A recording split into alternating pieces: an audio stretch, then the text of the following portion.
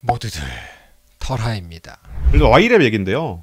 어, 와이랩이 2010년에 윤인환 대표님이 설립하신 곳이잖아요. 네네네. 그리고 2017년부터는 전문 경영인 심준경 대표가 지금 맡고 있는데 그렇습니다. 윤인환 대표는 지금 프로듀서로 콘텐츠 기획 제작을 하고 하시고 계시고요. 음. 되게 잘 나가고 있죠.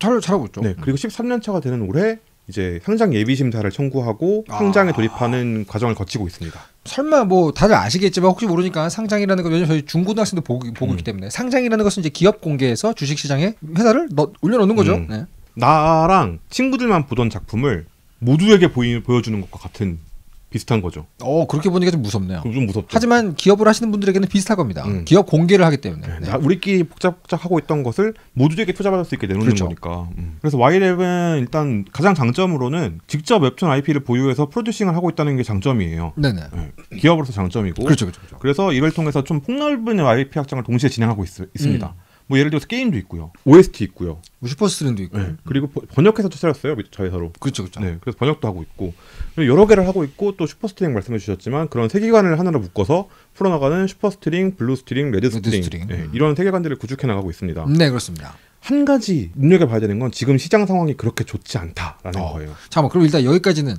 기업을 상장한다는 것은 자세히 말하면 너무 슈카월드잖아요. 음. 우리는 전문가도 아니고 하지만 좋은 것이다. 왜 좋냐? 우리끼리 사이의 인기인이 전국적인 인기인이 되는 거예요. 음. 예를 들면 그래서 누구나 그 회사에 투자할 수 있게 하지만 대신에 해야 될 게 많아져요. 음. 즉 의무도 빡세지지만 대신에 그 대가로 그 회사의 지분을 갖고 있는 사람은 갑자기 엄청나게 가- 갖고 있는 재산이 확 커지죠. 음. 그래서 이제 기업을 운영하는 사람들, 지분을 가진 사람들에게는 뭐 상장은 꿈의 꿈의 음. 구장. 그렇죠. exit라 그러죠. 그 정도만 간단하게 말씀드릴게요. 이거 되게 비전문적인 얘기인데 누군가에게는 그걸 누가 몰라. 음. 근데 또 여러분 모릅니다. 말하만 그리느라고 20년 보내신 분들은 모를 수 있어요. 그리고 그 김풍 작가님께서 와이랩 주식을 좀 들고 계시다는 얘기를 들었습니다. 풍이 형이요? 네. 전화해봐야겠다. 이럴 때 친한 척해야지. 그래 어쨌든 하여튼 거기까지는 좋은 얘기고, 근데 네. 시장 상황이 시장 상황이 녹록치가 않아요 네. 지금. 투자가 말, 말 그대로 얼어붙었어요. 그렇죠. 네, 그래서- 누구도 투자받기 어렵습니다. 네, 제대로 가치 평가를 받기가 어렵습니다. 그래서 아까 말했던 카카오의 투자가 진짜 대단한 거예요. 네네. 근데 실제로 뭐 밀리의 서재를 비롯해서 뭐 원스토어나 이런 곳들이 우리 상장할 거예요 했다가 들어갔다가 이 상장 예비 심사에서 가치 평가를 받거든요. 그렇죠. 기업 가치를 평가받는데 예상보다 안 나온 거야. 그러니까 이제 백스텝하죠. 백스텝. 네, 어, 아, 그러면 아, 죄송합니다 하고 뒤로 빠져요. 나중으로 기약하자. 네.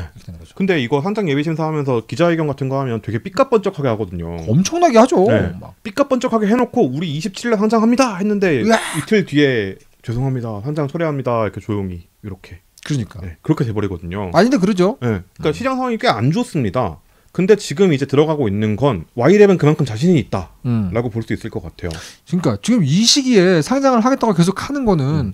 약간 놀라운 일이긴 해요. 음. 왜냐면 지금 거의 다 상장 철회하는 분위기거든요. 네. 대부분의 회사들이. 근데 이제 물론 어떻게 될지는 몰라요. 일단 좀 가치 평가 받아보고 생각보다 너무 안 나오면은 이제 아 그러면 우리 없던 일로 하고 다음에 할게요라고 될 수도 있어요. 그것도 문워크 할 수 있는 건데 그럴 수 있습니다. 일단 지금까지는 가는 걸로 보입니다. 음. 그래서 일단 스튜디오 드래곤에서 제작한 아일랜드가 있고요. 그렇죠. 그리고 슈퍼스트링 시리즈를 스튜디오 드래곤에 맡아놨어요. 독점으로 제작을 담당하고 있습니다. 네네네.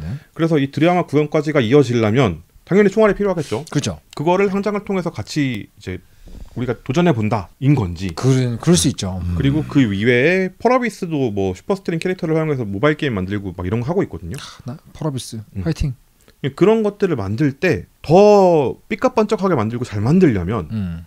총알이 많이 필요하니까 필요하죠. 당연히 이 상장도 생각을 하게 되는 옵션으로 하는 생각을 하는 하고 있는 것 같은데 그런데 그때 만약에 내가 뭐 예를 들면 뭐 천억, 300억 받을 수 있는데 음, 음. 지금 낸 이유로 이그 지금 상장을 한다는 이유만으로 100억을 받아. 음, 그럼 이제 사람 마음이라는 게 서운하죠 그러면. 아 200억 더 받을 수 있었는데가 보이지. 그쵸. 이 100억 그리고- 가지고 잘해야지. 이거는 두 번째 문제잖아요. 그렇죠. 내부에서도 당연히 가치 평가를 해놨을 거잖아요. 네네네. 우리의 마지노 선은 여기까지다. 음. 라고 정해놓은 게 있을 텐데 그거보다 아래로 나오면 좀 그럼 이제 힘들죠. 그럼 이제 문워크 할 수도 있죠. 네. 네. 네, 그래서 그거는 어떻게 될지는 앞으로 상장 예비 심사 끝나고 기업 공개 절차 밟게 되면은 그때 이제 한번 모여갖고 다 같이 한번 발표하는 자리가 있을 건데 그러니까요. 그때 어떤 얘기를 할지를 한번 기대해 봐야 될 것 같습니다. 네, 물론 다음 보부상이나 다다음 보부상 정도 얘기할 수 있겠네요. 네, 시장 상황은 비협조적이에요. 그렇습니다. 하지만 와이렘은 자신이 있는 것 같다. 지금까지는 이런 종류의 이슈에 대해서 조금 더 자세히 알고 싶으신 분들은 조만간 슈카월드에서 다루지 않을까요? 다를 것 같아요. 이런 얘기는 음. 빈살만 1조 막 그렇죠. 뭐 와이랩 상장 아, 그 이런 거는 했어요. 1조 2천 투자했다. 아 그게 네, 했어요. 했, 했습니다.